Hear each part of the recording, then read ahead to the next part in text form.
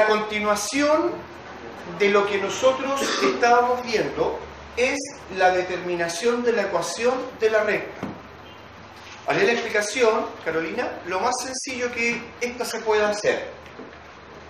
Nosotros vamos a determinar la ecuación de la recta en un primer, en un primer momento a partir de dos puntos conocidos, llamados en este caso A y B. Cada uno tiene su respectiva coordenada, X e Y, X e Y. ¿Vamos bien hasta ahora? ¿Vamos bien hasta ahora? Entonces, yo parto en la solución para este problema en donde me piden encontrar la ecuación de la recta, parto dibujando para hacerme una idea de cómo es esta recta. En el problema propiamente no me piden dibujar, no debería hacerlo. Pero ya les voy a explicar por qué necesité hacerlo. Ahora bien, nosotros dijimos que para empezar a construir la ecuación de la recta necesitamos... ¿Me prestas un poquito?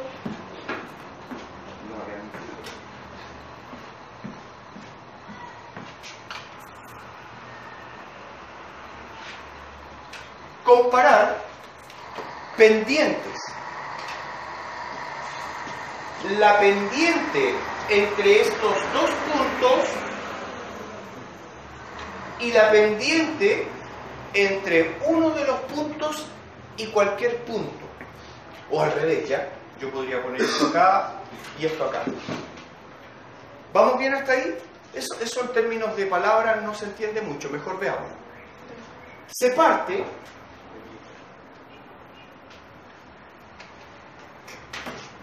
así.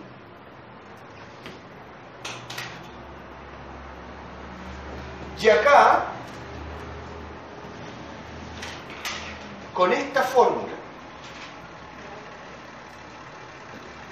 me parece que la clase anterior puse esta primero. ¿Cierto? Chiquillos, va a ser exactamente lo mismo.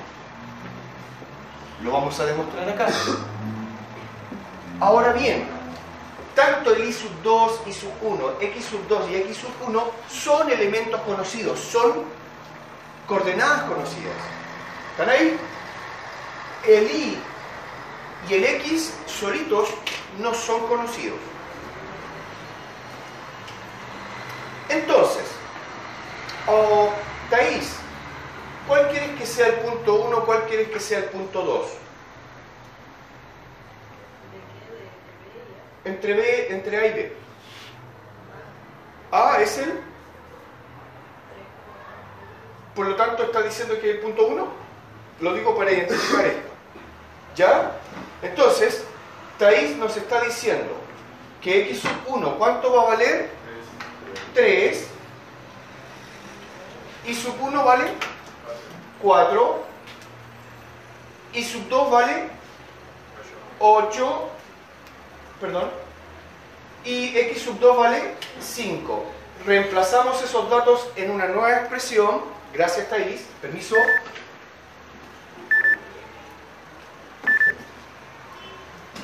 Entonces tendremos 8 menos 4, 8 menos 4, ¿cuánto? 4.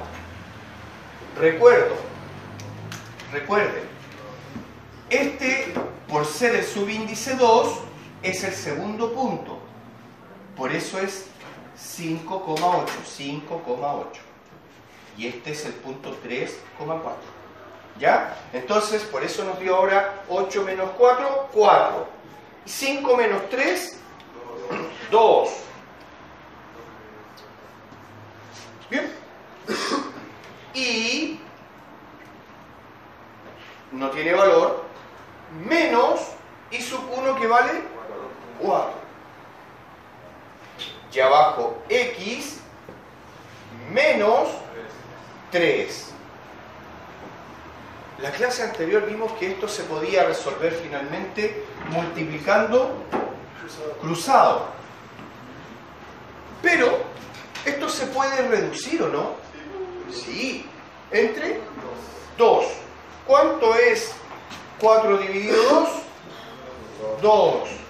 Ah, pues entonces la expresión va a quedar 2 es igual a i menos 4 partido x menos 3.